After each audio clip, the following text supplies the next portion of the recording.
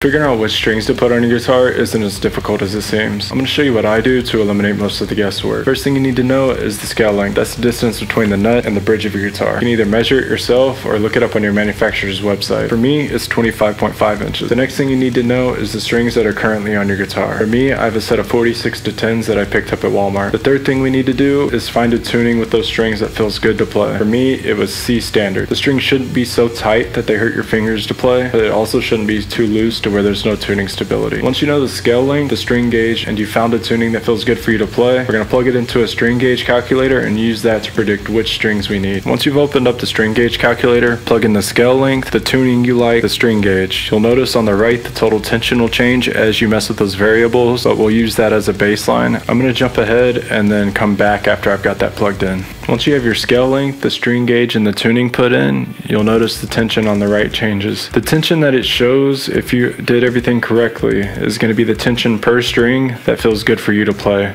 and it's going to be largely personal preference. Now if you want to change tunings, which is the most common reason people are asking about string gauge, I'll show you what you do. For me, I wanted to go from C standard to D standard. So what I'll do is I'll change the pitch or the tuning to D standard and you'll notice on the right that the tension will change. I'm going to jump ahead to after I change the pitch and we'll compare the tension before to after. Okay, you'll notice once I changed the tuning, the tension on the right went up. That tells me without having to tune my guitar that most likely I'll need to change the strings because it's way too tight and I won't like it. So when you're trying to lower the string tension, you need to use thinner gauges. And when you're trying to increase string tension, you can use bigger gauges. If you noticed before, I was between 11 and 12 pounds and that was comfortable for me. But you'll notice with this new tuning, I range from 13 pounds all the way up to 16 pounds. So that's gonna be too tight. If I wanna lower the tension, I need to use thinner string gauges. And so I'm gonna go in one by one until I find something that puts it in that range that's comfortable for me.